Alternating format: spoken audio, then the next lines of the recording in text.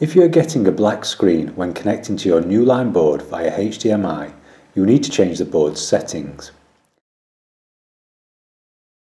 To do this, click on the cog icon at the top right hand side of the board.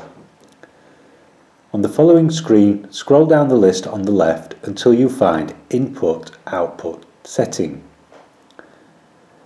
To the right you will see a number of options. Go to HDMI 1/2 and DP-EDID switch. Then change the setting from 2.0 to 1.4. This should then allow you to connect to the board.